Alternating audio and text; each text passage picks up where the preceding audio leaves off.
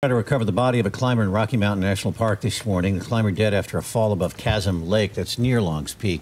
73 year old Ken Tissell of Estes Park died after tumbling down the mountain.